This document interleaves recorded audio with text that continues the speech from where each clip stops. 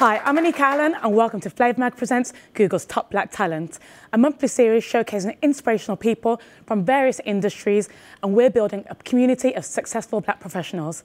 And if you have a question for our engineers today, then go to flavourmag.co.uk forward slash TBT, log on, submit the details there, and we'll get back to you, or we might ask the engineers your question. And in today's episode, we're going to be talking to five talented engineers. My Google co-host today, Ade Oshineye, is one of them. So he's worked with, a lot of them have worked with products and projects that you may have used or heard of. So, Ade, how are you? I'm great, thanks.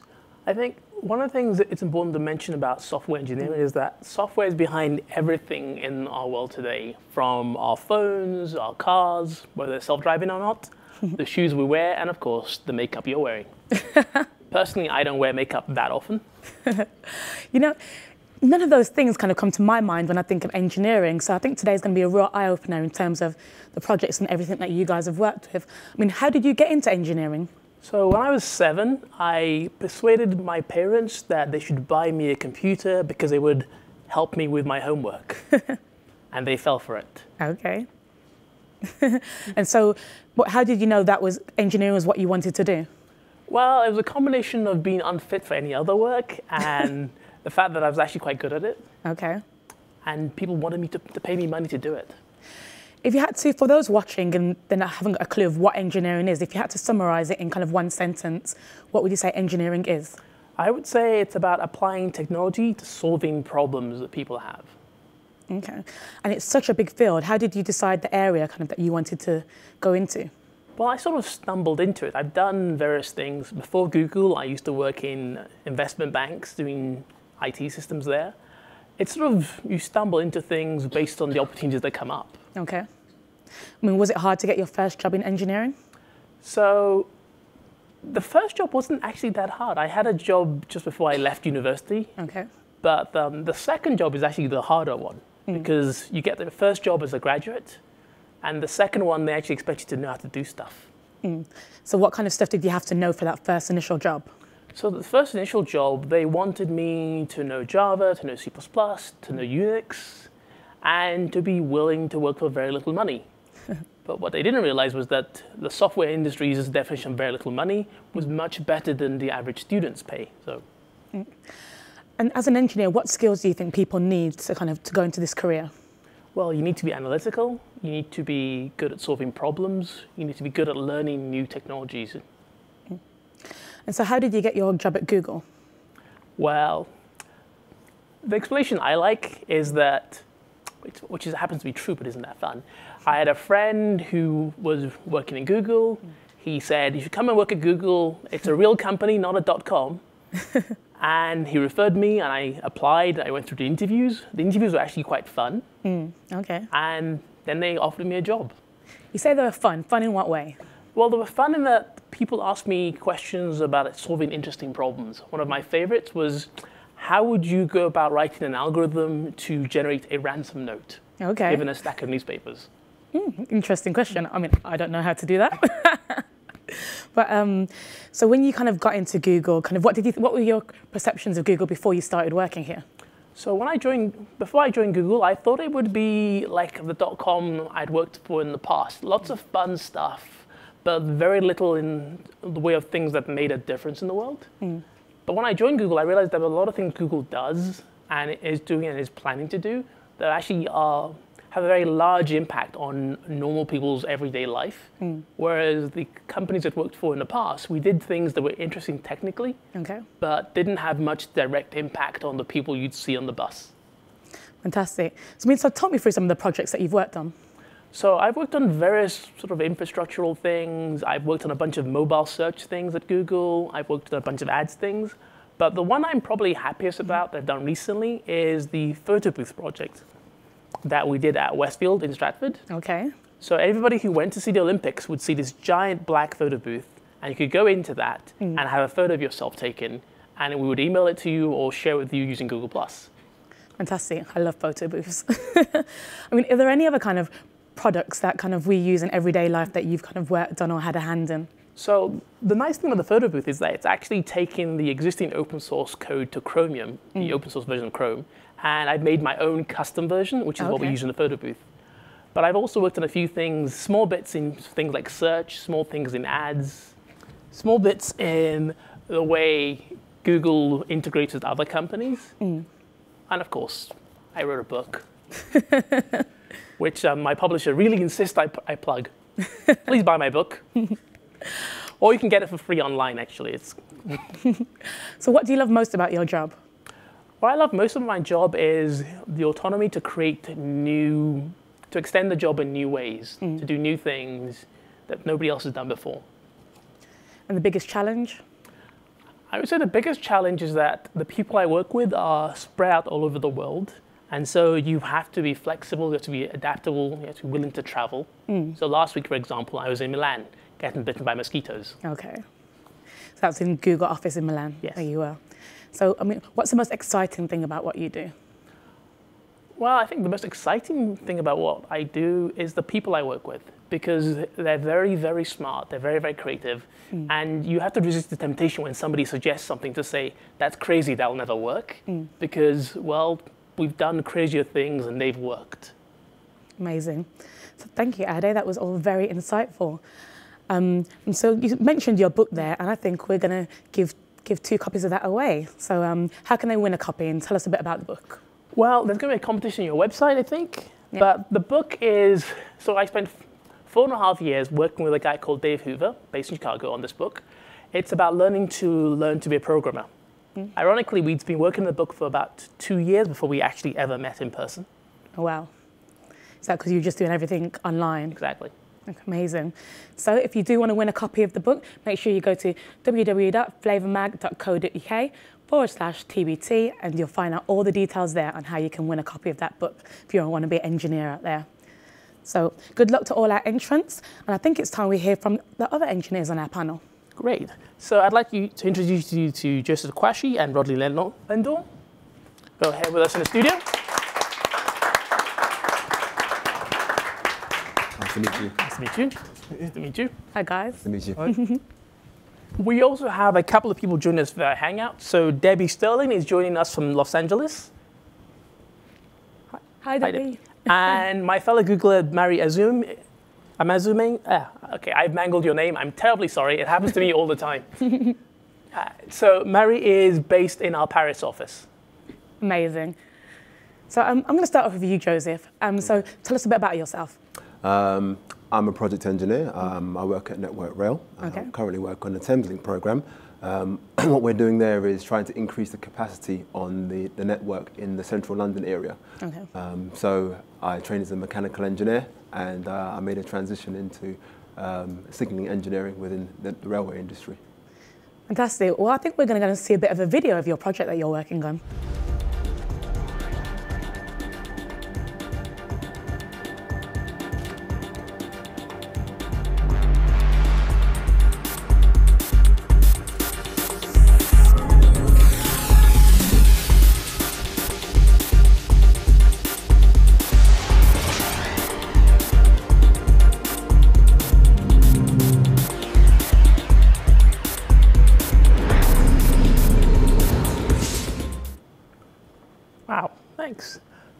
When did you know you wanted to become an engineer?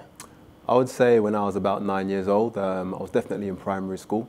Um, I always um, enjoyed making things, understanding how things work. Um, I had a creative side to me as well, so I tried to make sure that I was able to use those kind of things in, in uh, my career going forward. Great.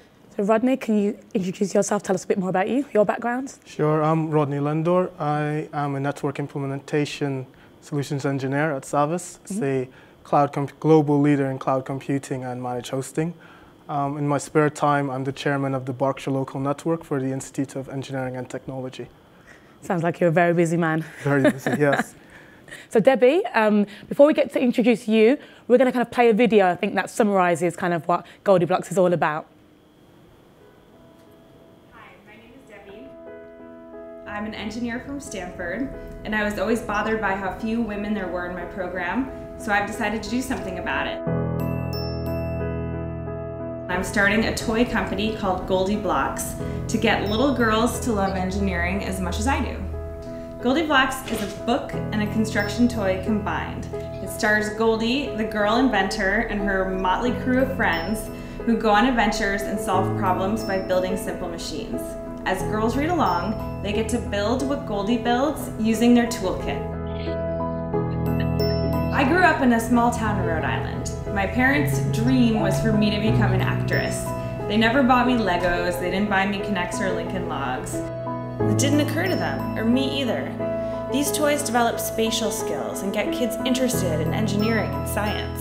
I didn't even know what engineering was until I was a senior in high school. So to me, GoldieBlox really is the toy that I wish I'd had growing up.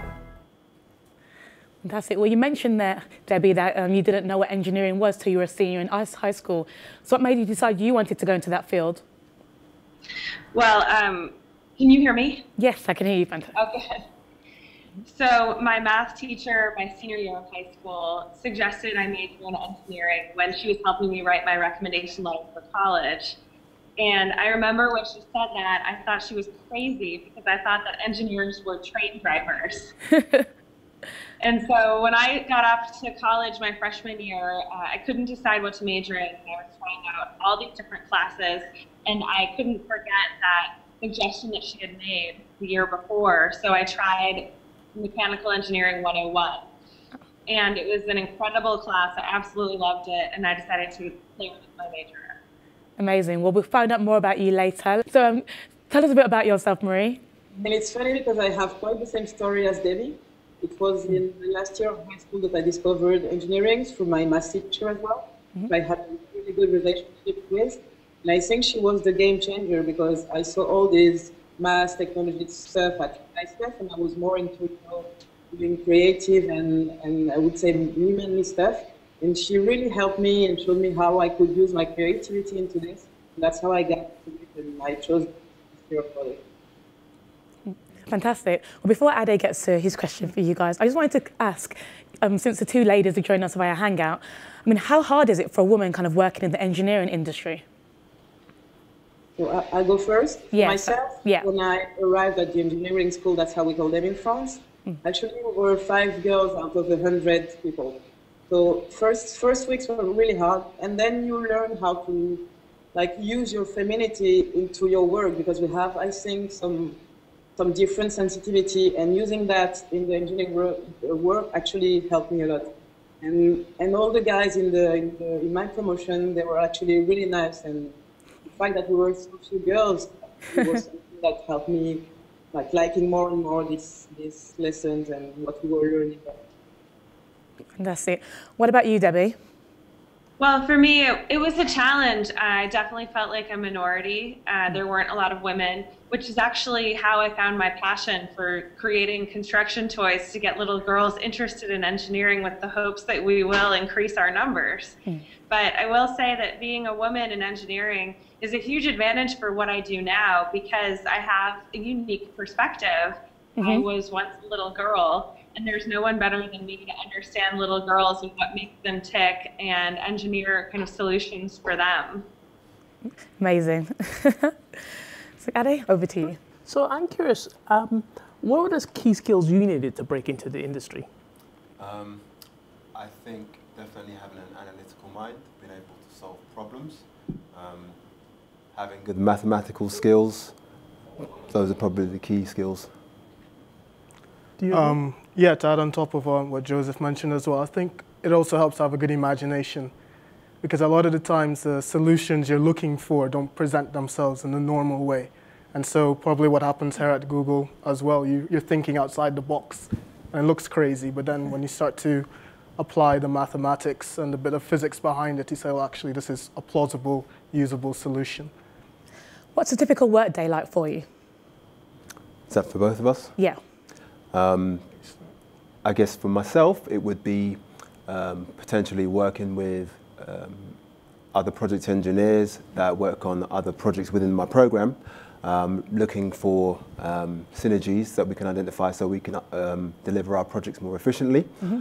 Um, I also review train specifications to understand more about, or to try to understand how the train that we're introducing onto the network is going to operate mm. and how it's going to interface with the signaling system that we're trying to implement um, so that we can make sure that there aren't any incompatibilities between the train and the infrastructure.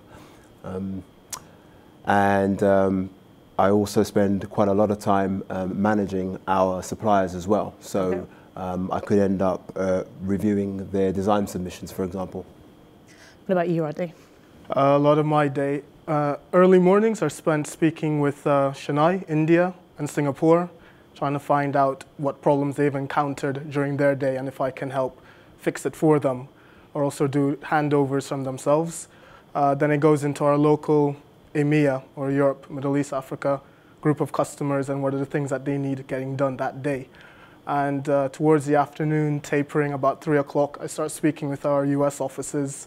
Uh, sometimes we get conference calls with guides in Argentina, Mexico, and St. Louis, Missouri, all at the same time. So a lot of communication, a lot of trying to find out where everybody else is at and what's left outstanding to be done that day. Okay, fantastic. Great. So, Marie, what's your workday like? So my my workday, like the last engineering project I did, because now I work in marketing at Google, it was really trying to go to every single team that was a contributor to my program and really make sure that they were on track and that they will deliver at the due date. And if not, what was the risk and how to evaluate that. So that uh, it was a lot of project management at that time. And you, Debbie? Um, well, I'm an entrepreneur and a CEO as well as an engineer. So every single day is like literally like a crazy circus fest. Hmm. like no no one day is the same as the next. I'll be one day I'll be um, traveling in China, meeting with our factories, trying to get efficiencies in the product design of the toy. To the next day, I'll be in New York on national TV and meeting with Nickelodeon. To the next day, um, cleaning our office and sending mail. So it's pretty crazy. I mean, what would you each, starting with you, and um, what would you say is your greatest strength and your greatest weakness? And actually, I'm going to start with Ade in engineering. well, that's difficult. I would say my greatest strength is that I never. I, I basically find it really hard to do things the same way as everybody else. Okay. So I always want to find a different way. Mm-hmm. Hopefully, it's a better way. Sometimes it's the worst way. But my greatest weakness well, I think, you know, the cheesy interview thing you're meant to say is your greatest weakness is your perfectionism.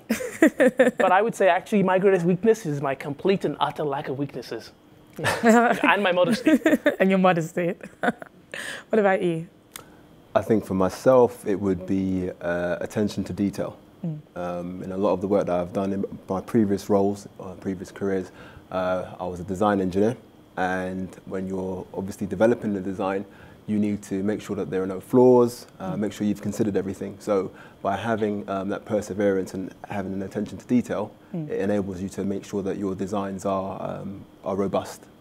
Um, in terms of weaknesses, um, I would say sometimes you don't know when to stop and you, you keep looking and checking for mistakes. So. Oh, and you, Rodney? I think my greatest strength is, just, is the ability to learn quickly. So the technology is, there's a lot of it and it changes very quickly. And sometimes as in your company, new product sets are being released all the time as it grows. So it's the mm. ability to learn what their limitations are, what their strengths are, and apply that and be able to deliver it to the customer. Um, my weakness, and it's quite embarrassing, is that I sometimes don't get it when people don't see things the same way I do. So in my mind, it's very clear, it's crystal clear, and you can see their faces are like, what, what is he going on about? type of thing. And Marie and Debbie, um, let's start with Debbie. What do you, what's your greatest strength and your greatest weakness when it comes to engineering? Um, I think my greatest strength is my willingness to just um, give stuff a try, whether it works or doesn't work, my willingness to take risks and learn from failure. Um, my biggest weakness related to engineering. Um, well, I don't know if it's as much related to engineering, but my biggest weakness right now that I'm working through is I don't celebrate our successes enough. So when something really exciting happens, I, you know, we don't, I don't think to like, you know, take the team out to lunch or celebrate um, mm. the way that we really should. And so I'm trying to figure out how to do that more. Definitely, you guys work on such amazing projects. You should celebrate every time you kind of reach a goal. And lastly, you, Marie? So I think my, my greatest weakness is that I maybe spend too much time on details and sometimes I get too focused on that. And for the strengths, I think it's that I don't take no as an answer. Like if someone says, no, we can't do this, I will fight for it. And I think I'm quite good at it. So I want a tip from each of you now in terms of there's loads of people watching and they want to have a career in engineering. What's your tip? What do they need to do to be where you are? I would say, firstly, I know there's a lot of a lot of people are afraid of mathematics and physics, and to be honest, in engineering, that's your that's your tool set. That is where you'll always start and always refer to. Mm -hmm. And I would say not to be put off by that. It's definitely going to be challenging as first, but like all things, the more you apply yourself to it, the more you practice it, the easier it would become. And also just to, to keep on playing with the things that you get. I mean, in terms of, I spent a lot of my childhood building models. Uh, some of them worked. I had rockets. I did like a thousand feet. I, I made a telephone, things of that nature. So you tend to see the engineers from a young age are the ones playing with um, Lego, building things. And I think as parents, you need to also support that as well and definitely, you know, bit by bit, you will get there. Great answer. What about you, Joseph? What's your tip? I would say um, you need to be able to, if I, if I, look at it from an interviewer's perspective, somebody who's looking to recruit someone, um, they always look for somebody who has demonstrated that they have applied um, the principles of engineering outside of a classroom environment. So they like people who, like Rodney, um, who have tried to build things at home. So it might mean you get involved with a local club, mm-hmm. um, maybe somebody older than yourself um, that has access to equipment. Um, it might be doing a summer school or something like that. Just show that you have tried to apply the principles of engineering. Um, it doesn't matter if it's on a big or small scale, but show that you have that level of enthusiasm. And uh, you will also learn a lot from it as well, rather than relying purely on um, the theory in the textbook. And you, Debbie, if um, Debbie and Marie, if you can keep your, your answers a bit shorter, that'd be fantastic. Uh, my advice would be um, to not get discouraged if you don't if you start studying engineering and you don't get straight A's. Um, to not give up on it because there's a lot of different types of engineering, all different fields, and I'll venture a guess you probably won't love all of them, but there may be one that you do. So not to get discouraged. And you, Marie? And my advice would be to really try to get help from people who know what already engineers or teachers or people that actually can help you and can give you, I don't know, extra lessons. Because for me, that was really valuable. Fantastic. So we're going to play a really, really quick game with you guys. So um, this is called Super Sync Sports. It's available on Google Chrome, and um, it's a really fun game where you can kind of swim, cycle, and run, and you can do it on your mobile phones and tablets. So if you can, guys can get your mobiles out, I think everyone's going to play it because it only has four players. So Debbie can't play. Sorry, Debbie, but still stay there and hang out. So if you guys go to um, g.co slash super. Yay. And then the second step is for you to enter a code. And once that code's entered, you'll kind of go into another screen and you'll get to choose a character. And then you guys will begin to play the game. And this is a game that kind of engineers would have had to put together to kind of um, make a, on Google Chrome. So that's why we thought it'd be fun for you guys to see engineering live in action. So these guys are just choosing their characters and they confirm who they're going to be. And then we have four players in there and we're going to see who reigns supreme. So it's just going to it's just giving you a little bit of an example of how you play. You kind of use your fingers to make the character kind of run. And if you were doing swimming, you you use your fingers to make it swim. So um, we just get into the beginning. So on your marks, get set, go guys. So the um, square, triangle, thinking the jinx in the lead, eight four seconds. We've got the sunburnt Ian, always the sunburnt Ian's in the lead. Um, who's at the back? sorry, you're not doing very well at the back. Sunburnt, Sunburnt Ian's going for it almost. Sunburnt Ian wins, woohoo! And the square box with shapes in second, eight ball third, and I don't know, that looks like, a, I don't know, is it Crow? I don't, I don't know what he looks like, but fourth. So who was, who was, who was which? I was sunburnt Ian. Well done! So thank you all for playing, Marie. Thank you. For, Marie was playing via Hangout. So you see, you can play that anywhere where you are in the world. So well done, guys. It was lovely speaking to you. I've learned a lot. Do you remember your first job interview? Yes, I was very, very excited, but nervous at the same time. Ah, well, interviewing is a skill like any other. You can always improve. Mm. So, um, well, thank you guys for joining us because we're going to be joined by Bodo Sharp from Bodo Sharp Consulting, coaching. Absolutely.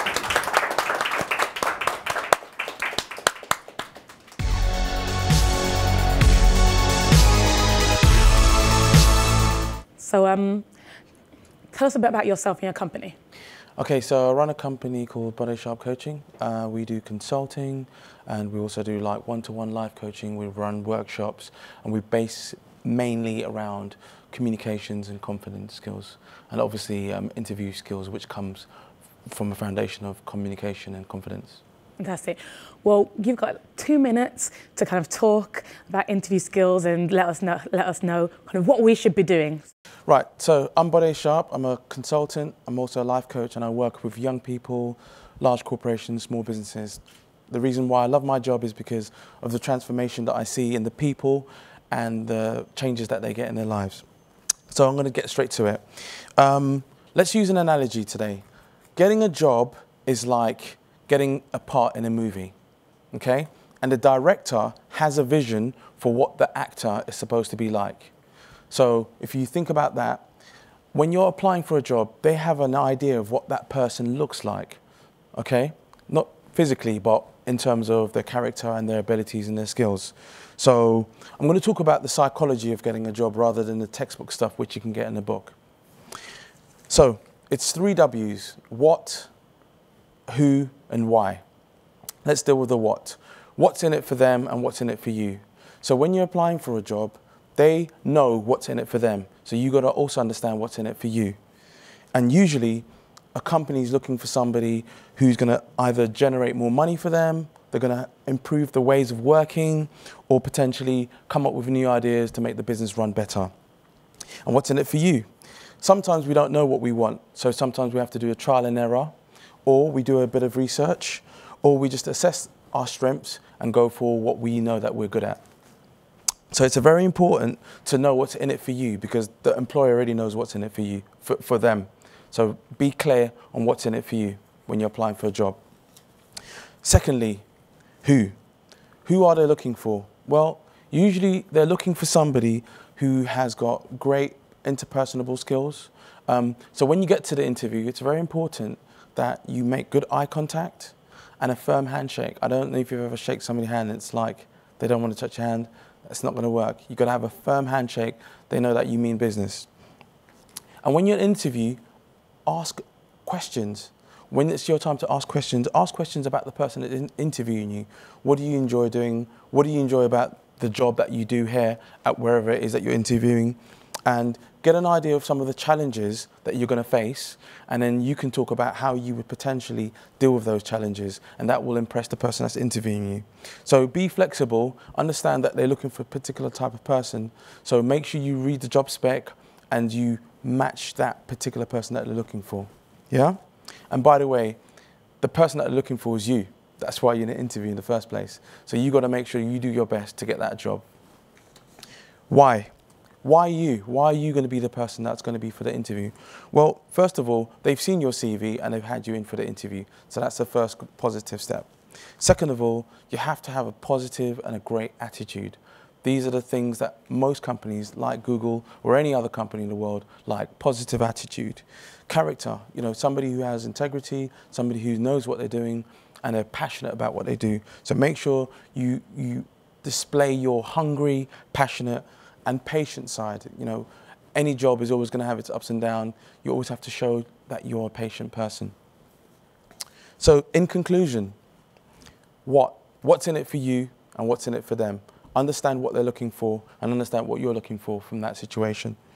Um, who's, who's the best person for the job? You are, because you're interview, being interviewed. So make sure that you present yourself in the best best way possible. And most of, important of all, be hungry, be passionate, and be patient, and you will get that job. Thank you very much.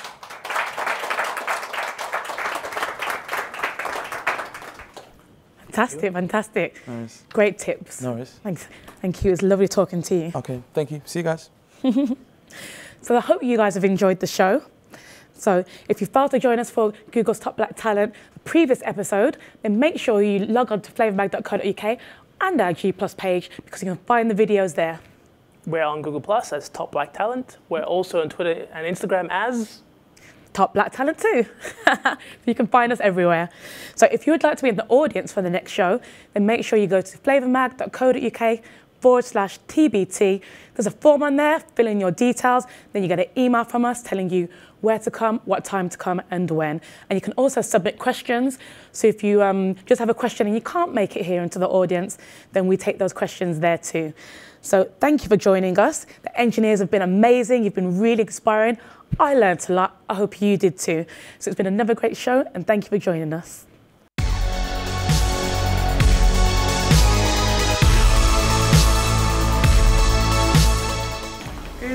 Black Talent was really good. It was very inspiring. I didn't know there were so many top black talent or black men within the engineering industry that were, had the roles that they had. So it was really, really inspiring and interesting. very educational. I learned quite a bit from it today as well. In terms of the engineering, I, I came in with not much of an idea about engineering. And there being so many different things that was actually available to actually start doing stuff. So it was very interesting. Yeah, Top Black Talent is always brilliant. Um, gives you a lot of tips on how to navigate your way into several careers. Um, like today, they talked about you know, the engineering sector, and people on there gave out tips on how they got to where they are today.